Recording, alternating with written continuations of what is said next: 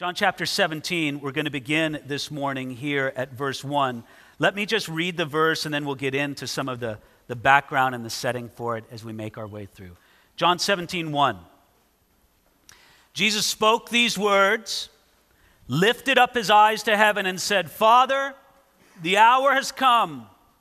Glorify your Son, that your Son also may glorify you. When we come to John chapter 17, we should understand the setting. Jesus is in the upper room with his disciples. They've eaten a meal together, a Passover meal, and then they went into one of those long talks that you'll often have after a meal when you got family business to talk about. One of those serious talks. I mean, we got real things to talk about. And as Jesus spoke to his disciples, it was especially heavy on his heart to explain to them how they were going to get along and what he expected of them because he was leaving them. You see, that night, in just a few hours, he would go to the Garden of Gethsemane and be betrayed and arrested. In a few hours after that, he would be nailed to a cruel cross.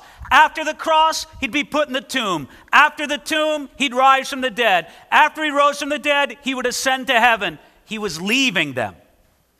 These men who had given the last three years of their life to follow his every step and to listen to his every word, he was leaving them. And he needed to prepare them for it. So he had this long after dinner discussion with them. And when he had finished it all, did you see, remember it from last week? This is what he said to him when it was all finished in chapter 16, verse 33. This was his conclusion. These things I have spoken to you, that in me you might have peace. In the world you will have tribulation, but be of good cheer. I have overcome the world. Those are his last words of teaching to the disciples. But, but, but it wasn't enough. Jesus said, okay, that's good. Break. Now, Garden of Gethsemane. He can't leave those men. He can't leave that room without praying. We know that Jesus was a man of prayer. The disciples often recorded in the Gospels how often Jesus prayed. He was a man of prayer. But do you understand something? This in John chapter 17 is the only extended prayer of Jesus that we have in the whole New Testament. We know that he prayed. We have some short prayers of Jesus, this chapter, John 17, is absolutely unique. There's not many times I get to say that about a section of Scripture, that it's absolutely unique, that this is the only place in the Bible where we have an extended prayer of the Son of God, and it reveals something about him. Sometimes we say, if you really want to get to know a person, pray with them. There's something about the openness, about the yieldedness, about just pouring out a heart before God that reveals who they really are. We're going to learn something about Jesus this in the next few weeks as we go through John chapter 17. But there's another reason why we need to grab onto this.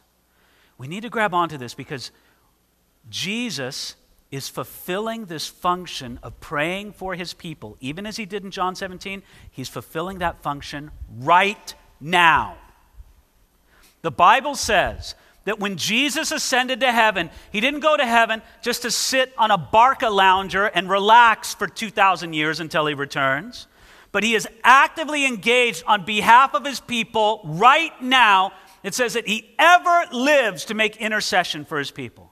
Jesus is praying for you. I don't know if you got a praying grandmother. I don't know if you got a praying mom or uncle. I don't know if anybody prays for you. But if nobody prays for you in the whole world, if you are a son or a daughter of God, Jesus prays for you. And you want to know something about his heart and his mind, and he prays for you? It's in John 17. He shows you the themes, the things that are important to him as he prays for his people. So, how did he do it? Look again at verse 1. Jesus spoke these words. He lifted up his eyes to heaven. By the way, he's following the traditional posture of prayer at that time and in that culture. At that time in that culture, the traditional posture of prayer was to stand to raise your hands. By the way, the Bible says that raise your, lift up your hands unto the Lord. That's why oftentimes we'll encourage you in praise and worship to lift up your hands to God. It's kind of a sign of surrender. It's a sign of giving. It's a sign of reaching out. But here, Jesus would lift up his hands and he would look up into heaven. That was the traditional posture of prayer.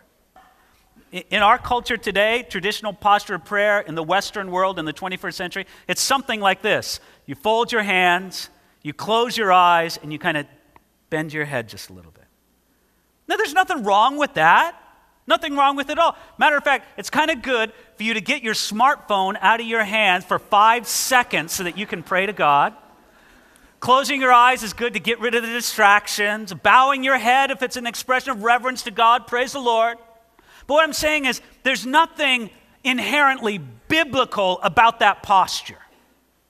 But Jesus lifted his eyes towards heaven and he began this prayer.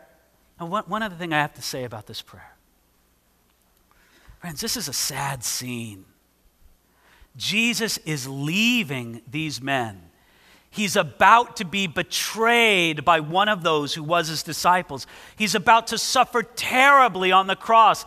The next 12 hours looks incredibly bleak for Jesus and his disciples. It's going to be like a catastrophe for them. All of that's on the way.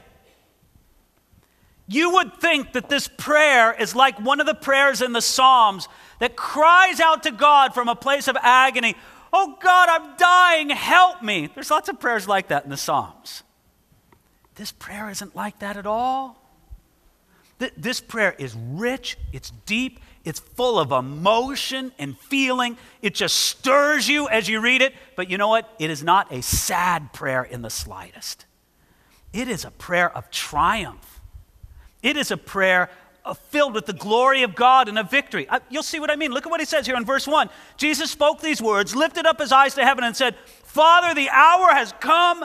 Glorify your Son, that your Son also may glorify you. Notice first what he says Father, the hour has come. Many previous times in the Gospel of John, Jesus has said something like this My hour's not yet come. My hour's not yet come. Now, what does he say? The hour has come. Now's the time. I have come to fulfill and finish the work you've given me to do. So he prays, Father, the hour has come. Glorify your Son, that your Son also may glorify you. First of all, he prayed, Father, would you glorify your Son? Would you work in me so that I can complete what is ahead of me in the coming hours? Do you understand that as Jesus was on the cross, that the Father was at work in the Son through the entire ordeal? We're going to come to it later in a few weeks when we talk about Jesus being on the cross. And it's important to know and understand this idea of how the Father judged the Son on the cross and how the Son felt and was forsaken on the cross. But we can take that too far and act as if there was this radical separation between the Father and the Son.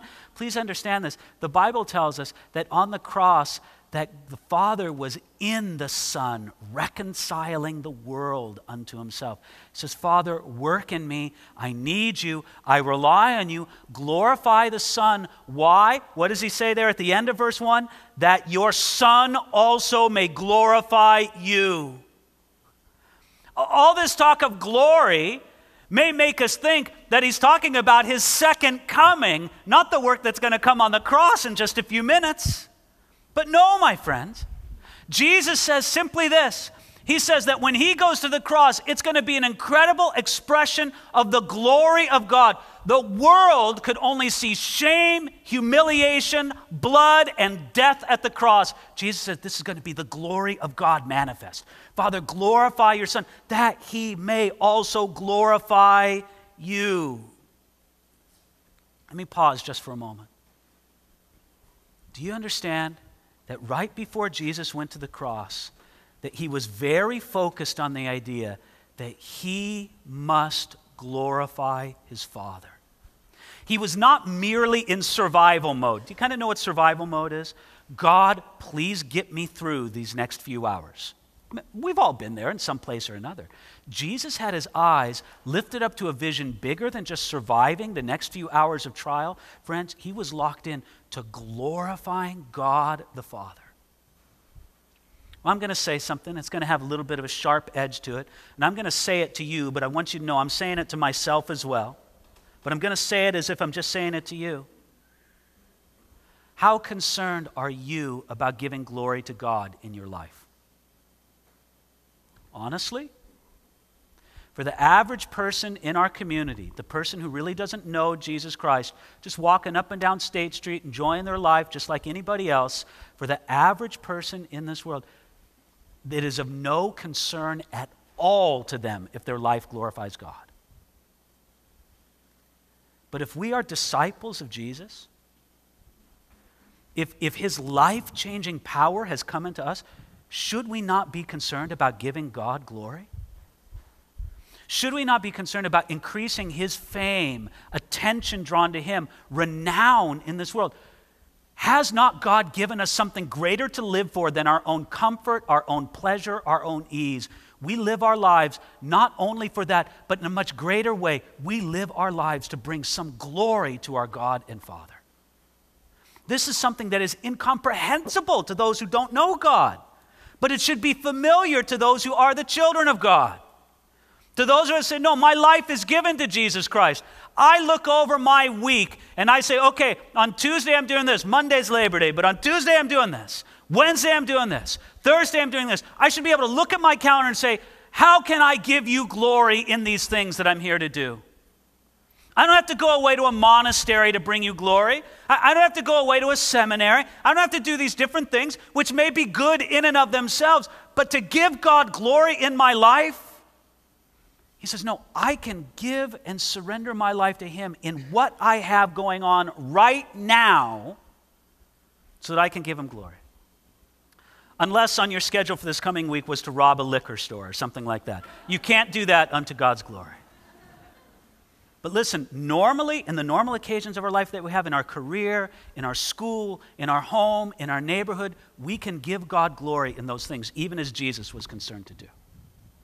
Now, going on to verse 2. He says, As you have given him authority over all flesh, that he should give eternal life to as many as you have given him. And this is eternal life, that they may know you, the only true God, and Jesus Christ, whom you have sent. See what Jesus said in verse 2? What an astounding thing for a man to say in front of other people. In front of other people as Jesus played, because please remember, He's not sequestered away in a prayer closet as he prays this. He prays this in the presence of his disciples. And he says, without any seeming hesitation or embarrassment, he says, You have given him authority over all flesh. Yeah, Father, you know me, I'm the guy that you've given authority over all flesh. Everything that breathes on this earth, I have authority over it. If Jesus is not God, he's crazy. If Jesus is not God, then he thinks that he has authority over all flesh. Inga-Lill and I, we have sometimes a thing that we do, or I do. I think she just kind of smiles kindly at it when we do.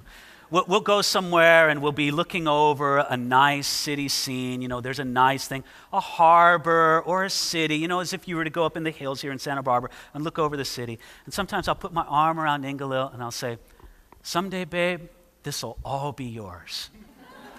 it's just a stupid little running joke. We, you have those kind of things. Now, if I actually thought it, I'd be crazy. As if I had it and I had the authority to give it to anybody.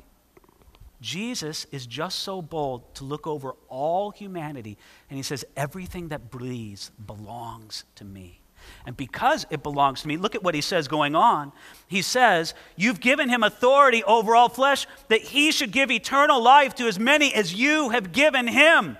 Friends, that idea gives us new hope for evangelism. It gives us new hope for missionary work because when we know that Jesus has authority over all flesh, even if people right now reject him, even if people right now are ignorant over him, there's a still a sense in which he has authority over them. And so, what does it do? It prompts us to pray. Jesus, just because this person is rejecting you, it doesn't mean that they are yet out of your reach. Would you grab a hold of them, Jesus?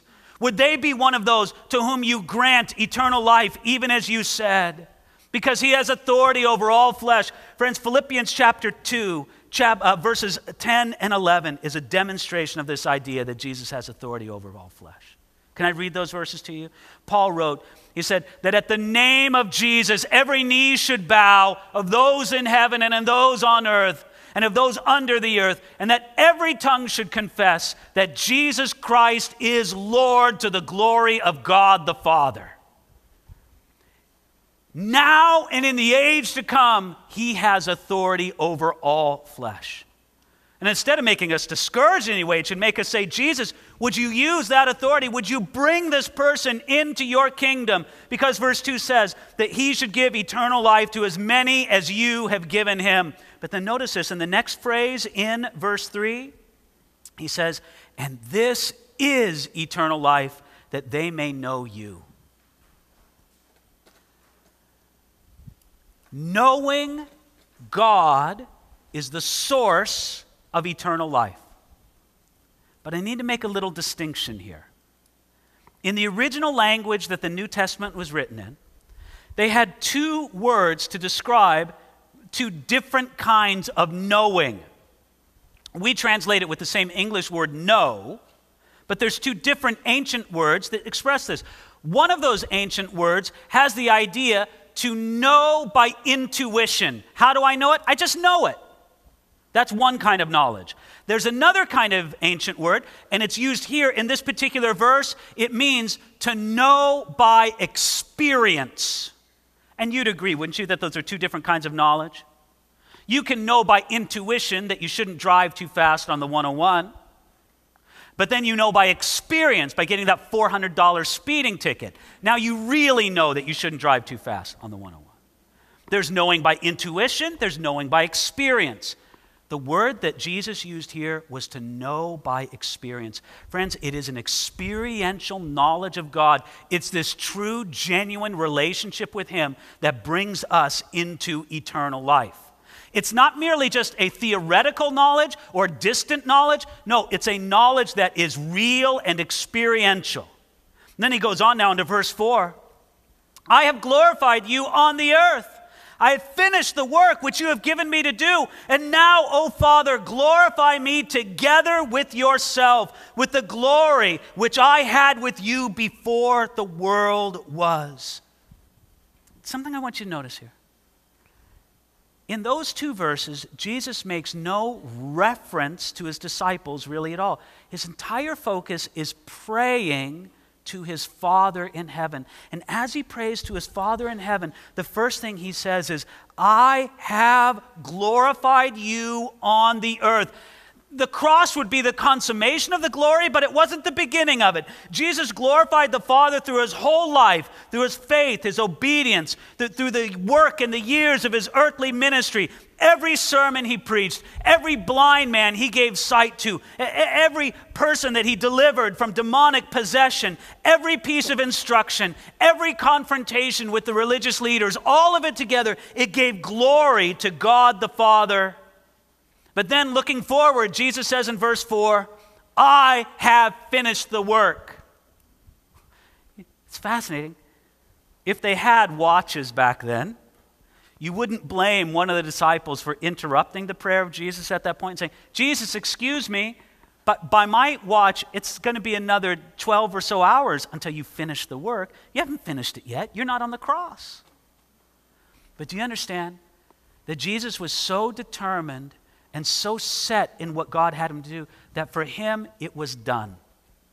It was finished. He had not yet carried it out, but it was already decided. It was already determined. As far as Jesus was considered, uh, concerned, the work was finished. It was completed in the heart and the mind of God and His Son, and now it just had to be done. That's why Jesus prays in verse 5 Glorify me together with yourself. That's a strange prayer to pray. I think of me praying such a prayer. Glorify me together with yourself. Here's the problem when I pray that prayer, I'm usually praying it for my own sake and for some kind of glory that would be given to me independent of God. The Son could pray that towards the Father, utterly dependent on the Father Himself. That's why He says, Glorify me together with yourself, with the glory which I had with you before the world was. Here we're given a glimpse into something of the relationship of the persons of the Trinity. You, you know this expression of what the biblical doctrine is that we call the Trinity. Here's the thing we have one God, there is one God. Ladies and gentlemen, we are not tritheists. We do not worship three gods. There is one God in three persons God the Father, God the Son, and God the Holy Spirit. And the persons of the Trinity had a relationship of love and shared glory before anything was ever created. That's what Jesus is pouring out here in his prayer when he says in verse 5 With the glory which I had with you before the world was. Father, you remember the glory we shared together. Let that continue through in the continuation and the completion of my work here on earth. And then we come to verse 6. And in verse 6, Jesus changes the focus of his prayer. The first five verses were basically Jesus praying in relationship between him and his Father. But now he's going to pray, of course, to the Father, but for his people, for his disciples. Have you ever had somebody pray for you and you're listening to them? Now, they're not really talking to you, they're praying for you, and you learn things about their heart for you as they pray for you. You kind of understand that dynamic? That's exactly what's going on with Jesus and the disciples right now. They're learning things about Jesus' heart for them as he prays for them. So notice how this prayer begins, verse 6. I have manifested your name to the men whom you have given me out of the world. They were yours, you gave them to me, and they have kept your word. Now they have known that all things which you have given me are from you. For I have given to them the words which you have given me, and they have received them, and have known surely that I came forth from you, and they have believed that you sent me. Notice the first thing he says. Again, he's not speaking to the disciples, he's speaking to his Father in heaven. And he says right there in verse 6 I have manifested your name to the men whom you have given me. Father, you gave me certain men. Now, by the way, I thought Jesus chose his own disciples. Well, he did, but he chose them after praying all night. And the Father showed him, the Father told him exactly who the men were that he should choose to be his disciples. So Jesus makes this prayer. The Father gives him these particular ones. And what does Jesus say? He says, I have manifested your name to the men whom you have given me. Jesus thought about his three years of teaching and ministry with his chosen disciples, and he summarizes it all with this phrase What did I do? I manifested your name to these men. There's these, these 11 men. Remember, Judas has already left the room. These 11 men, if I've done anything, I have displayed who you are to them. I've manifested your name. Do you know what the word manifest even means? We don't use that word very much. To manifest something is simply to display it. If I take this bottle of water, if I hide it behind the Bible, you can't see it. If I expose it to where you can see it, I have manifested this bottle of water. Something that was, was hidden is now made apparent, it's manifested. Therefore, Jesus says, the name, the character, the nature of God, it was hidden, but I manifested it, I lived it out. Again, if I could make a side point on this, the fact that Jesus lived out the goodness and the righteousness and the grace and the holiness of God shows that he manifested God's name to them. We as believers, we have a similar responsibility in this world today. I don't know if this was really explained to you when you gave your life to Jesus Christ, but one of the responsibilities upon you as a disciple, as a follower of Jesus, is that Jesus wants you to manifest, to make visible his name to the earth. So that what is Jesus like? Jesus is loving. Jesus is holy. Jesus is wise. Jesus, on and on and on.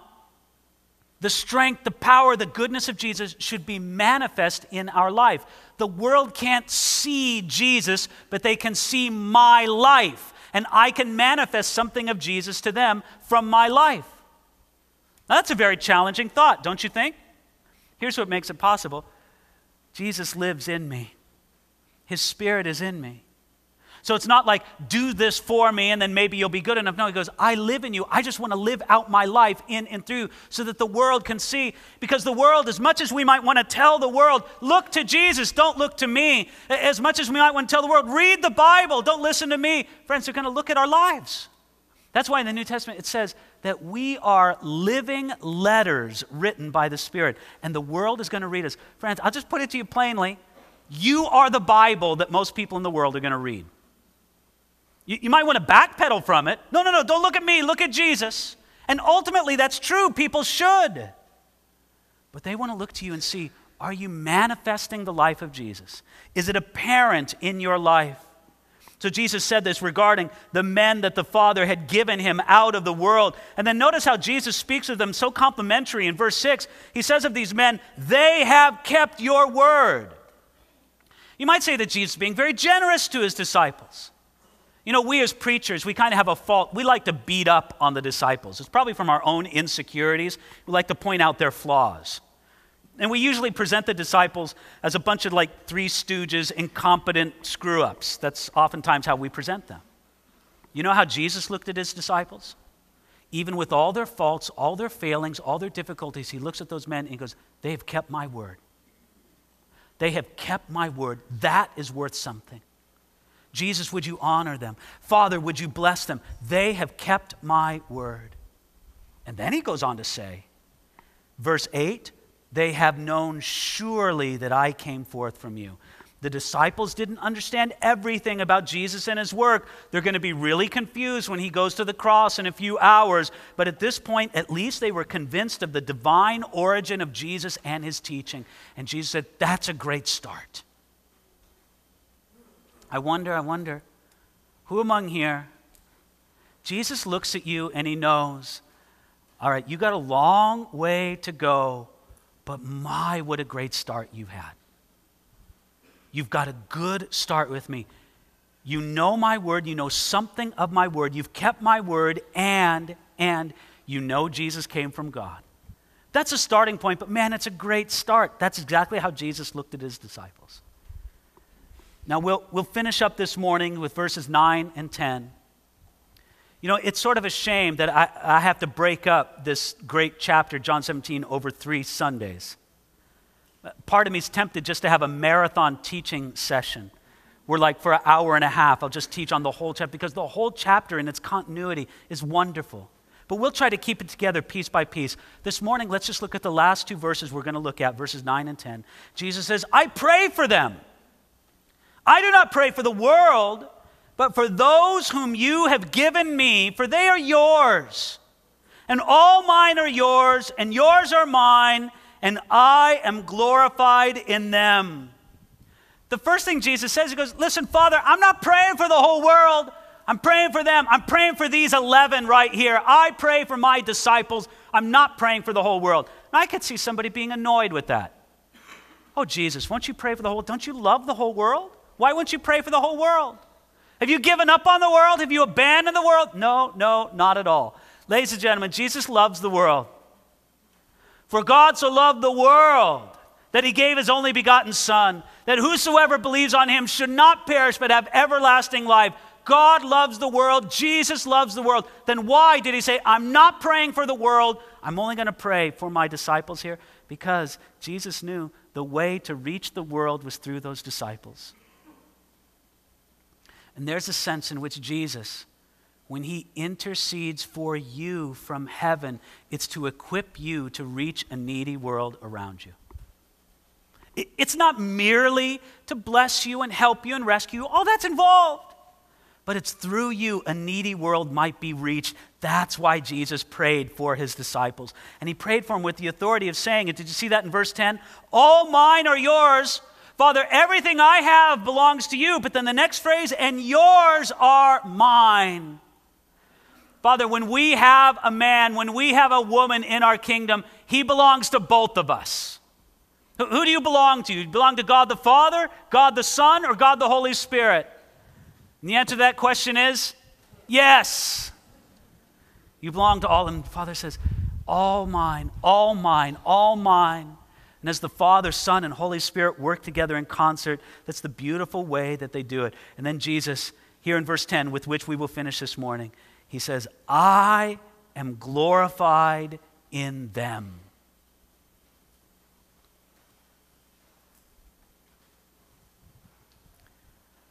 How amazing would it be to hear Jesus pray those words over you?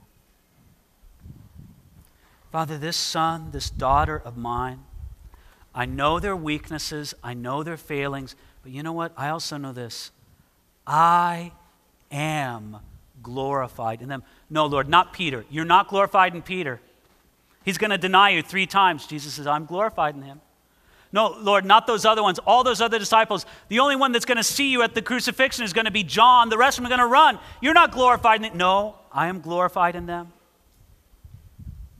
And knowing that Jesus would think such about me, it makes something rise up in my heart. I hope it rises up in your heart.